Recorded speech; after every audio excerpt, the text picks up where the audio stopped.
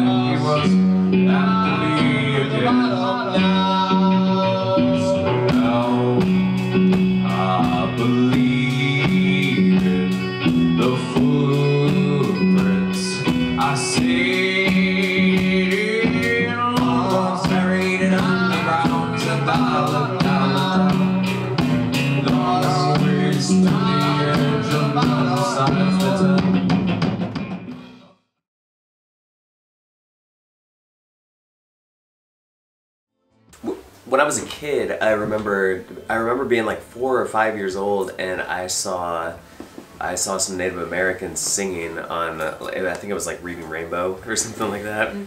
and uh, I I do know that that had a huge impact on me because I love that sound that that classic like just that wailing sound that sounds like coyotes in the night. You know what I mean?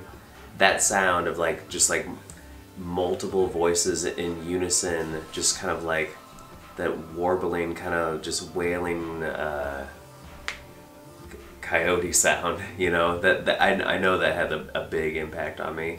So that that could also be where that that sort of like uh, tribal sound might might come the from. The best way yeah. that I can ever describe it to people, even my girlfriend too, is like during band practice, Clint and Skylar are very illustrated and so when they want to hear a sound part, they will always be like, "Do you know that feeling you got when you were a kid and you'd be watching like a Disney movie or something for the first time, or like that scene and they're like walking down the line and they you have, they have this march and then it's just like that feeling like they go into such detail and it truly truly does bring that feeling and like when you hear it you're like oh yeah i do know what you're talking about like that feeling. So every time they're like bringing something in they're like no, you know what I mean? Like, I just want something at this part where it's like, mm, I'm staying the night at a friend's house, and his mom just rented us a movie, and it's the first time you watch that movie, so you're just excited, and then out of nowhere, she's like, Hot Pockets! or something. And so, and, oh, like, oh man, you know so, what I mean? Yeah. Like, so it's very like they always bring that apart, like the feeling of it, of so, like something so detailed, and so it can really bring that to us when we play it.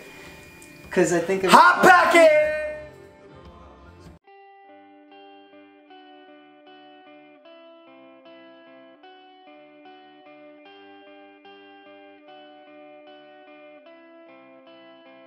My name's Derek Hart. I'm from Topeka, Kansas. I moved to Peoria, Illinois in 2003. I lived there for a few months, moved away, came back a couple years later, lived there for a couple years, and uh, I've gotten to meet many of the fine people and musicians in Peoria, work with them.